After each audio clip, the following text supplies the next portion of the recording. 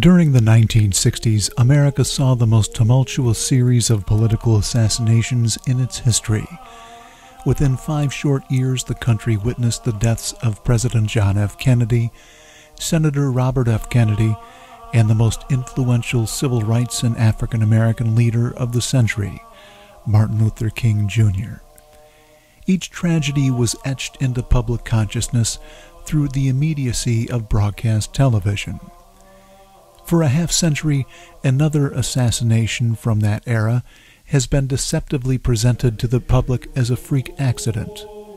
What really happened to one of the most popular and controversial mystics and ecclesiastical thinkers of the modern era? We examine the curious passing of Thomas Father Louis Merton on this edition of the Memory Hole Blog Report.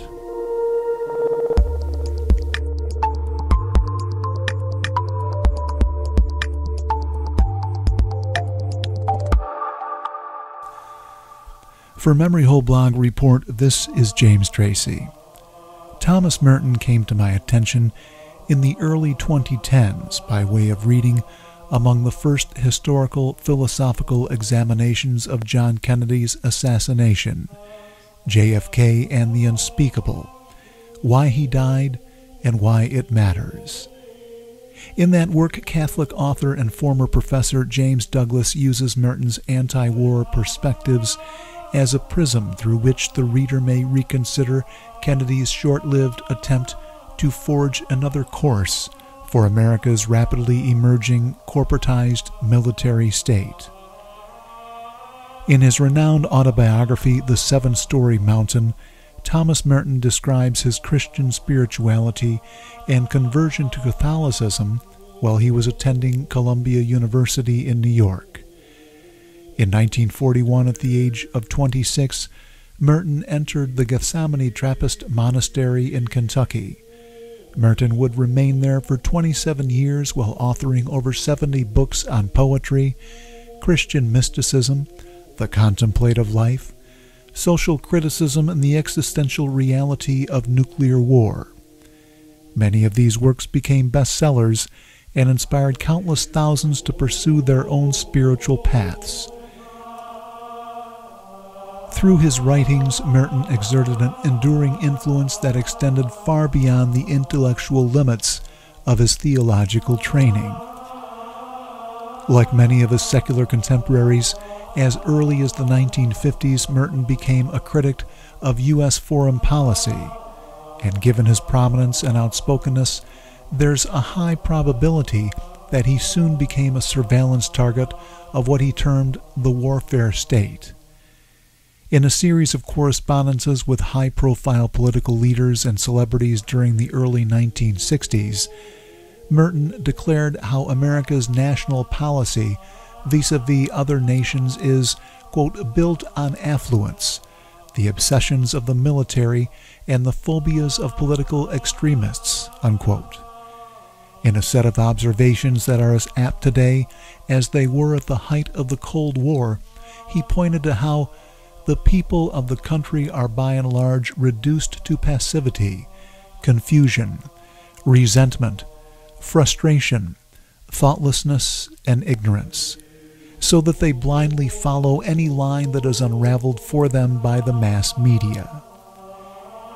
In his poem invoking the Holocaust, chant to be used in processions around the site with furnaces, Merton wrote, do not think yourself better because you burn up friends and enemies with long range missiles without ever seeing what you have done. Merton even directed two letters critical of the Vietnam War directly to President Lyndon Johnson. As author Philip F. Nelson observes, one of Father Merton's letters to Johnson was found in what the president termed his mean letters files. In it, Merton cautioned Johnson for his use of sheer force to deter communism in Southeast Asia. Merton wrote, The use of such military force seems to me immoral and unjust when it is used without wisdom. As Nelson notes, in all likelihood, the remarks not only called into question Johnson's morality and wisdom, but likely his manhood as well. As the historical record attests, Johnson became infuriated when Martin Luther King Jr.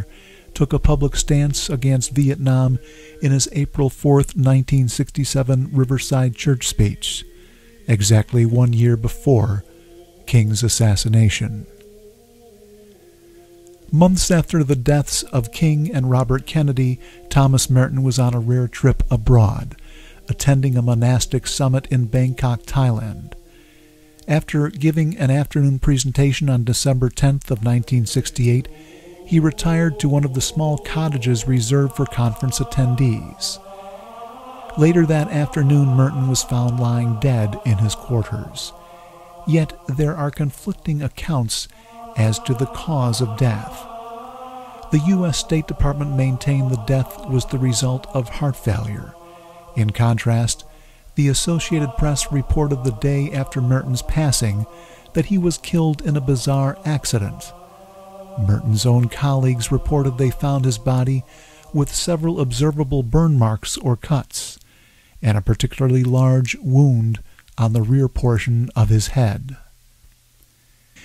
In their 2018 book, The Martyrdom of Thomas Merton, authors Hugh Turley and David Martin lay out compelling evidence that calls into question the conflicting official stories promoted by the State Department and the news media.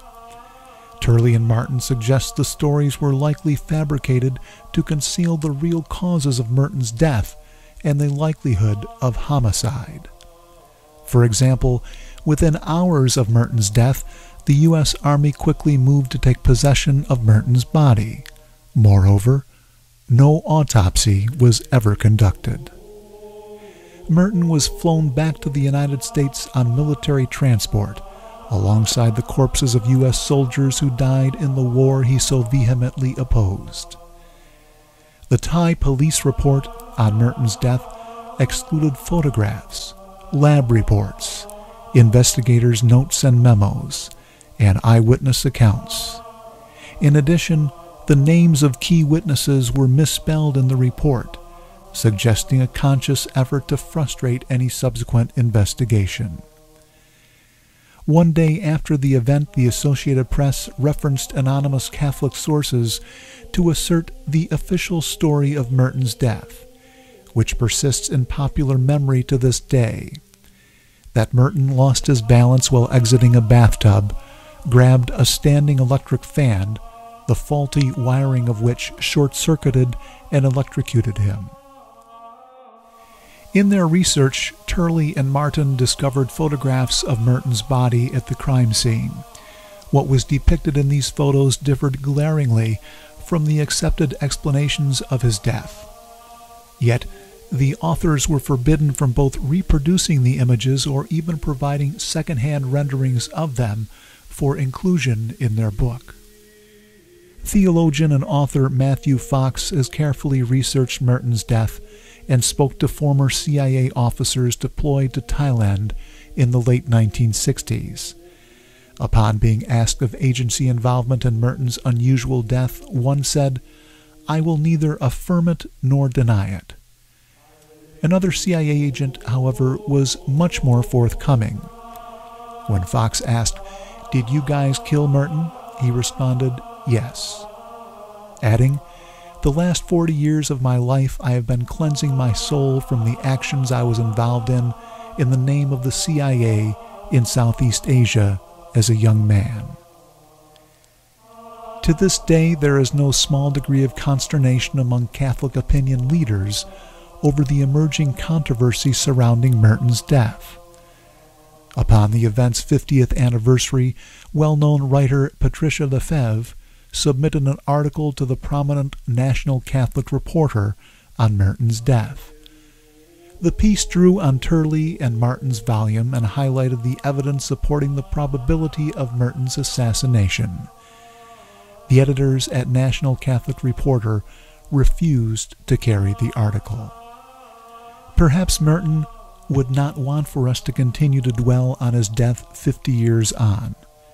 Yet in 2021, the world remains a very long way from achieving the peace he had hoped for, and his consistent emphasis of truth as a bedrock principle for such a peaceful world.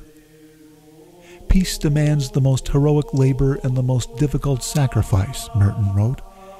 It demands greater heroism than war. It demands greater fidelity to the truth and a much more perfect purity of conscience. Over the last 50 years, the bid for this very pursuit of truth has resulted in a wealth of accumulated research into the deaths of the Kennedys and Dr. King. That work weighs heavily against the state endorsed storylines on each of those assassinations. Along these lines, the investigation of Thomas Merton's tragic and untimely demise has perhaps only just begun. If you like what we're doing in these videos, please consider becoming a patron of MHB at patreon slash memoryhole. For memoryholeblog.org and MHB Report, this is James Tracy.